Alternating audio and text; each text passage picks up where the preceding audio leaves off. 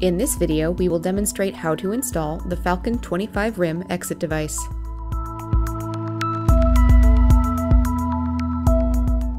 We will install a Falcon 25 RIM device with a 512 NL trim on a hollow metal door that has been prepped according to Falcon templates. For other device and trim variations, please follow the installation instructions. These are the tools you will need.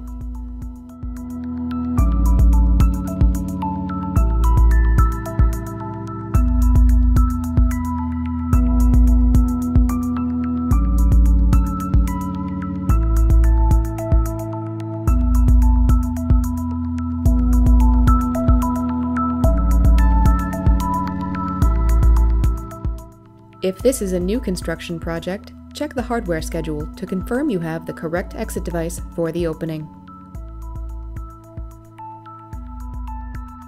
In the box, you will find the 25 rim device, trim and cylinder, drill template, fasteners, dogging key, strike, end cap and end cap bracket, and installation instructions. Use only fasteners provided with the exit device.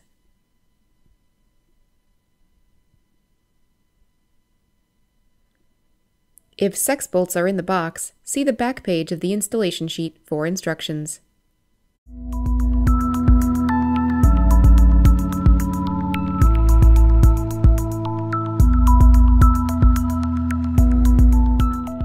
This opening had previous devices installed. Please disregard any other prep you may see on the frame. Mark up from the finished floor 40 and 1 2 inches. Using the square, draw a horizontal line to the edge of the door. This is your center line. Close the door and mark a dot on the frame where the center line meets the frame. Use the square to extend that line across the frame. Place the strike on the frame with the strike body against the door. Align the center hole over the center line and mark the two slotted holes. Center punch in the middle of the elongated holes.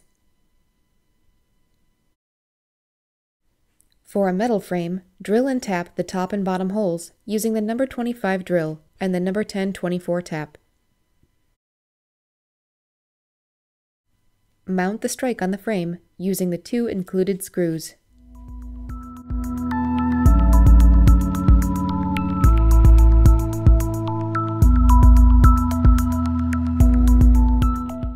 Position the plastic template on the door as shown. The arrow on the hinge side of the template should be pointing to the center line. Mark the upper and lower vertical lines indicated by the arrows.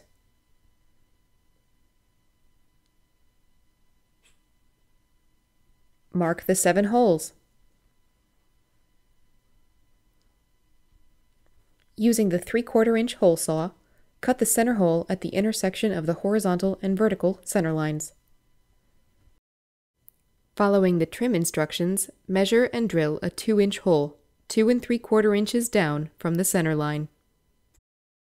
Using the number 25 bit, drill the two holes for the center case support screws and tap with the number 1024 tap, as indicated in the chart. If you are using trim, the instructions may require additional holes to be marked on the device side of the door. Use the trim instructions to finish marking all holes on both sides of the door.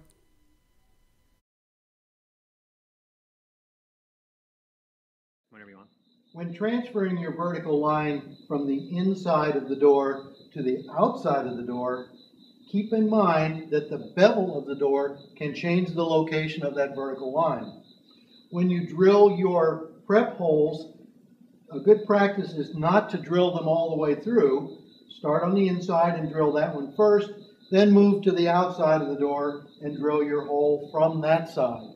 And keep in mind that not all holes are the same size on both sides of the door. Using a 1 quarter inch drill bit, drill the four holes on the device side of the door. Transfer the horizontal center line to the trim side of the door. Then, transfer the vertical center line to the trim side of the door.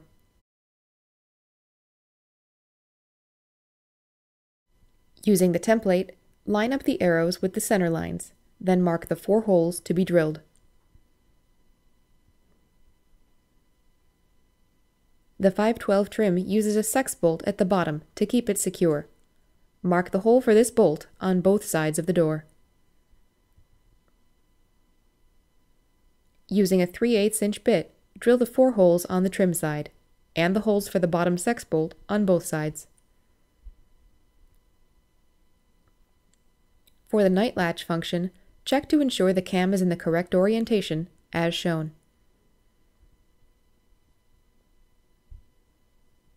If you are using a cylinder with a function other than night latch, remove the cam, rotate it 180 degrees, and then reinstall.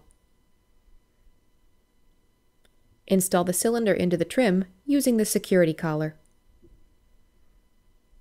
Put the cylinder into the trim and install the lock nut. Tighten using the cylinder nut tool.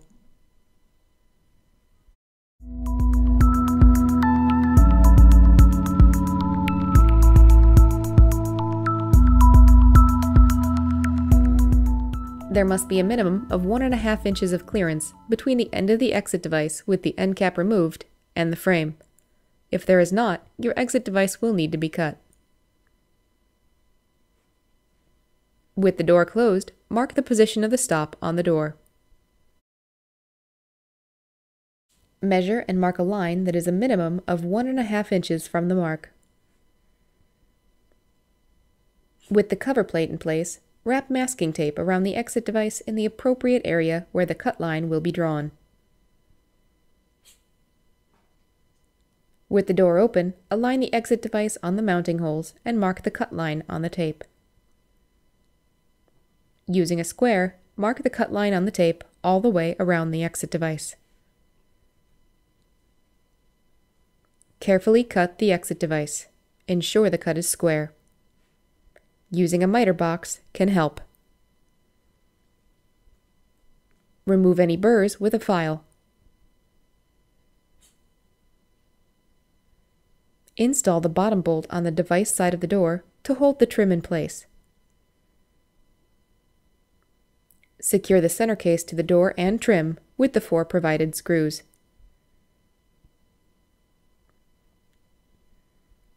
Slide the end cap bracket into the exit device and mark the two holes for the end cap bracket. Use a level on the exit device to ensure proper positioning. Drill and tap the holes for the end cap bracket. The picture on the instruction sheet will guide you to the correct size bit for your door material. Install the end cap bracket and end cap with the provided screws. Refer to the instruction sheet to select the correct screws.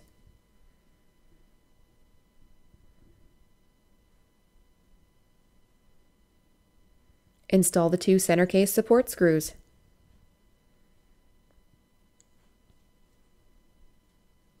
Ensure the push bar guide is in the proper position.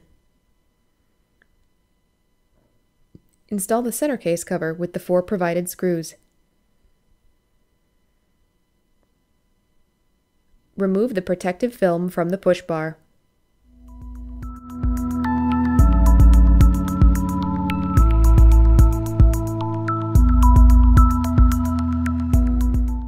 Measure the distance between the roller on the strike and the center case. It should measure 3 16ths of an inch. From the inside of the door, make sure the latch is fully extended when engaged with the strike. From the outside, make sure the door cannot be pulled open.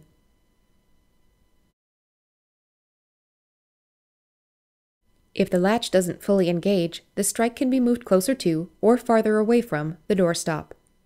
If the door can be opened from the outside, a shim may be used under the strike. Complete the installation by securing the strike with the third screw. For assistance, contact customer care at 877 671 7011.